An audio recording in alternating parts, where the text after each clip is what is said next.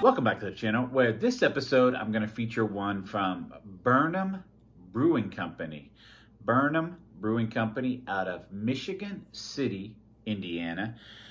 This here is one that I picked up on my travels through, recent travels through, um, from Ohio uh, through Indiana to Illinois. Stopped the uh, typical shop and they had this bad boy in there and I picked up a four pack. I want to say it's about 16 bucks for a four pack. Uh, so about $4 a can is what it's going to break down to. Uh, but just, I was immediately drawn to this right here. Just ridiculous artwork. It's called Juice Puns, and they're calling it an, a hazy East Coast, sorry, double dry hopped East Coast style IPA with Sabro and Mosaic hops.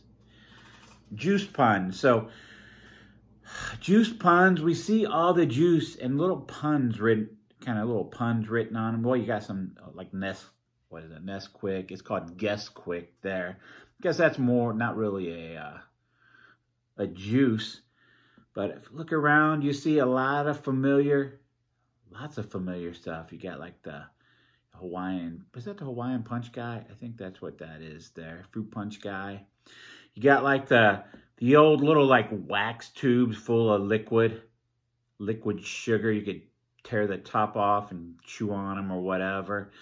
Uh, you got the, um, I don't know, I guess like the, the Sunny Delight thing. And it does say, hey kids, it's your parents' money we like, not your health. Some of the other things on here. Uh, the little chug drinks or whatever they were called. I says mostly chemicals, probably. Dang for like Tang, if you guys remember Tang. And that one says uh, juice powder, not actual real juice, but we have a monkey. Huh. All right, so just a lot of puns written on there. Uh, squeeze it. Um, now, what what what I don't get is a little character there little character wearing like a football jersey. It says Simpson number 32. Well, who wore number 32? That was a legendary football player that may or may not have killed some people. Right there. Just, I don't know if that's supposed to be O.J. Simpson or what. That's just kind of weird to be on there. Uh, but I'm sure there's something to it if I do a little bit more research into it. So just cool, over the top, crazy, ridiculous artwork. Um, says disturbing the comfortable. And again, Burn'Em Brewing Company.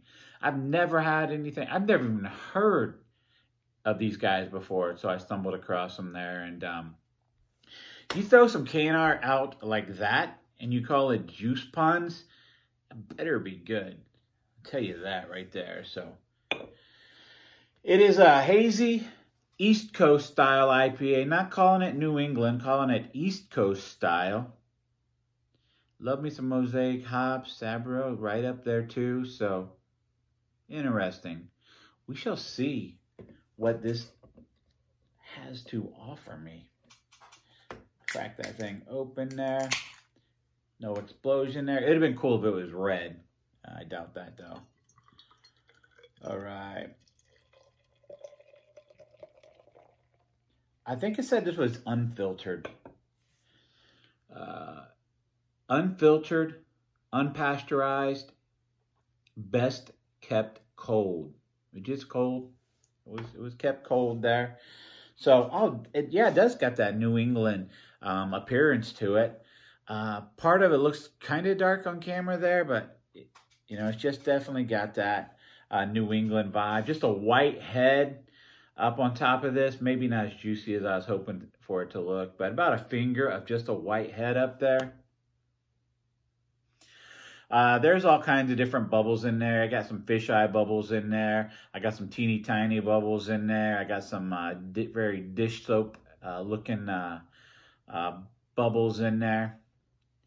And then you have a little bit of a creaminess to it as well. So hazy, yeah, I can kind well, no, not really. If I hold up to the light, I can see like a little shadow figure down towards the, the narrow part of the glass. But as it goes up, it's definitely got a haziness to it. As far as the nose,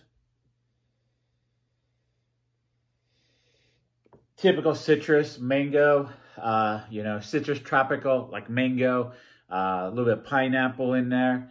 Your typical grapefruit, orange, you know, blood red, or blood red, blood orange. A little bit of a melon in here as well. So a lot of fruit stuff going on in here. Digging into it, maybe a little bit of a, a green plant. Um, I don't want to say floral because it's a little bit stronger than that, but it's kind of got that stuff going on there. So let's get a drink on this thing. And um, I was hoping for more on the nose. I'm not going to lie there, but this is what the uh, the taste uh, gives us here.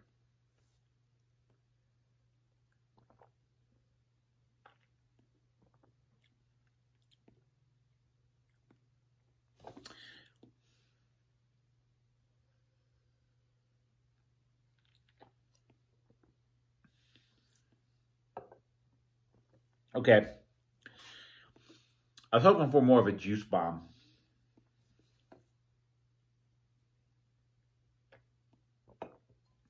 Medium body. Uh, a bit of a coating. You know, the more, the I think that last drink, I felt a little bit more of a coating on the tongue.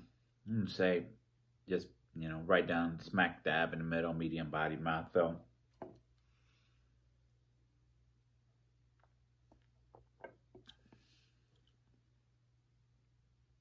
Little dry on the back end.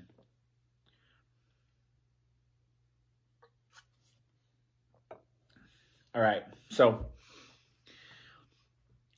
it's got this hoppiness to it, a little bit of a bitterness to it. I don't know what the IBU is on this. It's not crazy bitter.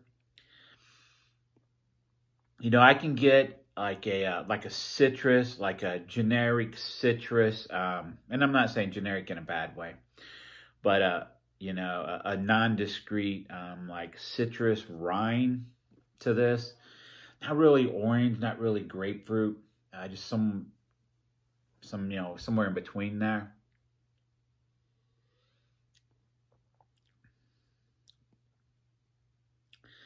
Slight pineapple.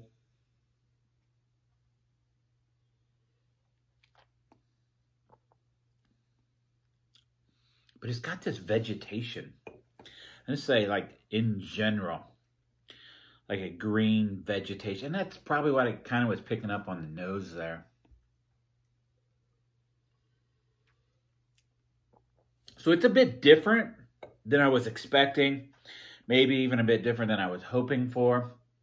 But it actually isn't a bad drinker. You know, it took me a few drinks. I was expecting maybe something else.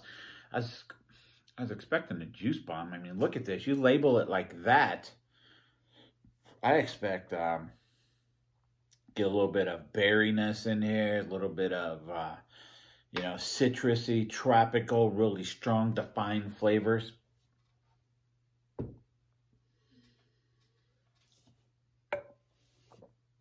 It, it's solid. It's pretty solid, I guess. Uh, it's not mind blowing. Uh, in fact, I'm uh, scoring it wise. I'm good with a four. You know, uh, just a, just a, a four out of five. Um, artwork, five out of five. That's just killer artwork there. Uh, Burn'Em Bridge, or Burn'Em Bridge, Burn'Em Brewing. Their logo is actually pretty cool too. Um, yeah, four out of five. Uh, I was, it's good. It's good. It's solid. I was hoping for much more after the artwork, after reading it. I was, just, I was hoping for a bit more of a, uh, a juice bomb. Um, it does kind of have that hazy, um, you know, that definitely that hazy IPA. Uh, it's, let's see, double dry hop. Yeah, uh, for a second there, I thought it was double IPA, but double dry hop. It It is what it is, four out of five. Um, my hopes were too high. Um, and I was kind of smacked down a bit. So uh, it is what it is. Four out of five. You had something like this before. Let me know what you think about it. Like, subscribe, comment. Check me out on social media. If you're not a subscriber, subscribe. If you are, thanks for watching.